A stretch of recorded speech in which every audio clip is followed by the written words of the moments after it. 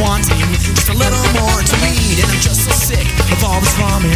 So I threw it on the floor, left the kitchen in a hurry, headed for the store. Never